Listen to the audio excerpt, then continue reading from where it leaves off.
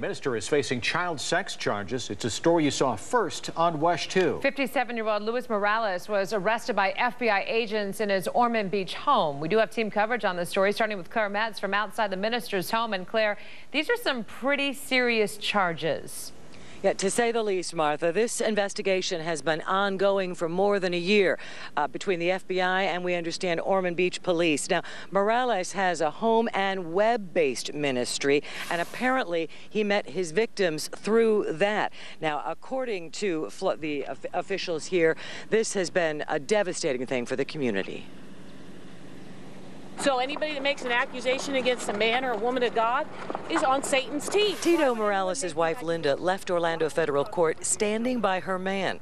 But according to this five count federal indictment, between 2009 and 2010, Morales transported children, young girls, for purposes of having them engage in sex with him, something his wife, who is not charged, seems to discount. Jesus loves you. According to neighbors, the couples have run a ministry from their home on Crossings Trail for several years. My understanding is that they're in the religious business, uh, evangelist or some line of, of uh, religion. We could hear them yelling and the music through the through the windows. But it appears the real outreach is through the couple's website, En Fuego for Jesus, which means on fire for Jesus. Morales is known as Apostle Tito, and indicted along with him is a woman who calls herself Prophet Rebecca. She is Rebecca Rivera. In the first two counts, Morales and Rivera allegedly brought a 12 year old girl from Florida to Connecticut and back. In court, Prosecutors said Morales molested the child all the way. We've seen young girls. It doesn't appear any of the victims are local, but we learned three sisters between 10 and 13 years of age were allegedly molested in 2010 in Morales' home, and that one young victim was brought from Arizona to Florida to the U.S. Virgin Islands for sexual purposes.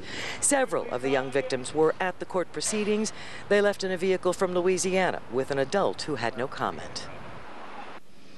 Back live now, and again, just to reiterate, it does not appear that any of those young victims are local. Now, according to federal prosecutors, if convicted, each count, and again, there are five, uh, you are you are eligible for between 10 and 10 years in prison and life in prison, and subject to forfeiture proceedings. Uh, Linda Morales was heard in court saying the house is in her name and cannot be taken from her. Reporting live in Ormond Beach, Volusia County, Claire Metz, WESH 2 News.